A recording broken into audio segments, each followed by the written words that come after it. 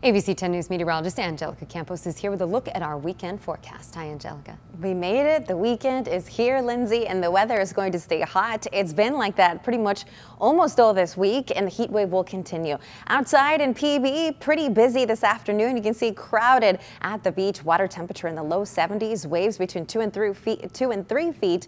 But it was hot, especially in Alpine and Ramona, with temperatures in the triple digits today. Escondido almost getting there with 97.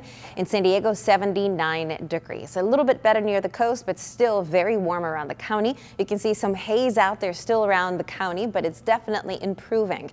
In downtown San Diego, 73 degrees at this hour, 85 in Ramona, 89 Warner Springs, 82 in Jamul. Again, the heat will continue with the excessive heat warning still in effect until 9 p.m. in the deserts. At night, temperatures are staying in the 90s, making it so uncomfortable with little break, but we'll get a break next week with a contrast, of course, we're going to see temperatures go down and then humidity goes up. We'll be tracking thunderstorms over the weekend.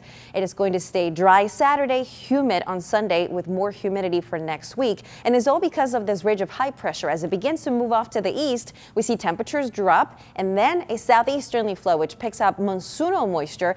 And that is why we'll be tracking the potential for thunderstorms, perhaps even into some of our valleys next week. In our future cast, everything starts in the mountains. You can see some pretty decent rainfall because it is monsoonal moisture. There's a chance that some areas may see some heavier rainfall. As you can see here, taking you through Wednesday evening, it's possible our mountains could see once again close to a half an inch, maybe even our deserts. So this is definitely beneficial for the county. Remember, this is our dry season. So when we start tapping into some monsoonal moisture, it is definitely a blessing to the county. In our seven day forecast, low 80s at the coast with the water temperature in the 70s and a low risk for rip currents at least for tomorrow.